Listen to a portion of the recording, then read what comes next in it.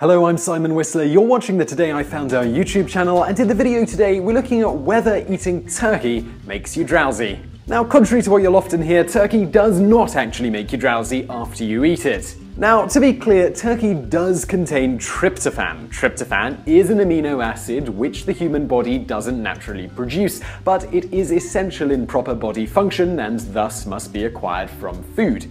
The reason tryptophan is tied to drowsiness is that it is used by your body to create serotonin. Serotonin, among other things, acts as a calming agent in the brain and plays a key role in sleep. So, with turkey containing tryptophan, one could logically say it would make you sleep sleepy after you eat it, except that this isn't actually the case at all. So why not?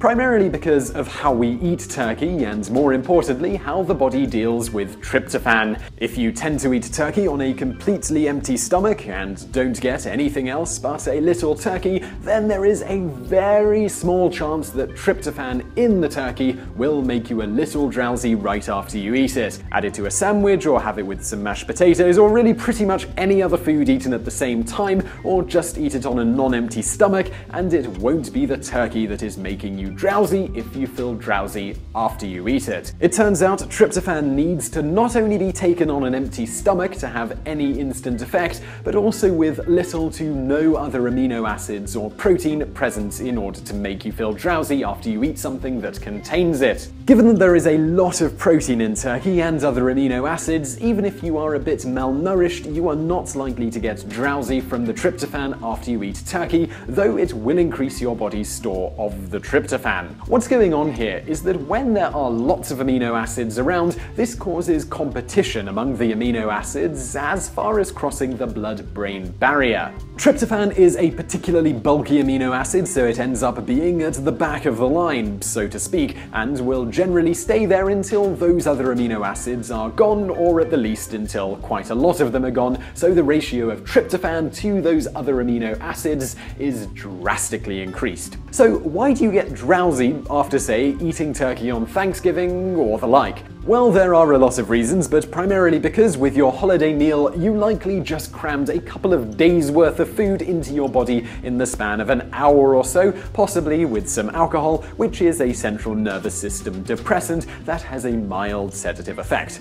Also, with a full stomach, your body directs blood away from your central nervous system and other organ systems to help your digestive system. More than anything, this is probably causing most of the drowsiness after a large turkey dinner, such as on Thanksgiving or Christmas or the like. Now, there is typically always a nice store of tryptophan in your body at any given time due to the fact that it's not only prevalent in turkey, but also higher levels than in turkey per ounce can be found in chicken, beef, pork, cheese, chicken eggs, which contain nearly four times as much tryptophan per ounce over turkey, sunflower seeds, and many types of fish. It is also found in in lesser or similar amounts as in turkey in milk, beans, sesame seeds, lamb, wheat flour, chocolate, white rice, oatmeal, potatoes, and bananas, among lots of other foods. So your body is usually stocked full of tryptophan most of the time, and eating some turkey isn't going to significantly change your body's store. If you do want to point to specific foods that can make you drowsy, these would be things high in carbohydrates such as pasta, mashed potatoes, breads, and the like. These result in the release of insulin, which in turn results in certain amino acids being more or less swept out of your blood and absorbed into your muscle cells. This gives the usually ample store of tryptophan hanging out in your body a better shot at crossing the blood-brain barrier and raising your serotonin levels. So I really hope you enjoyed that video. I know that eating a lot of turkey can make you feel drowsy, but apparently it's all to do with the alcohol and other food. If you did like this video, please do click like below, it really helps out, and subscribe to our channel for brand new content just like this five days a week. There is a subscribe button below me now, a couple of other videos you'll probably like if you like this one over on the right, but I know if you are on a mobile device, you cannot click on anything on the screen now, so in the description you will find links to everything. And thank you for watching.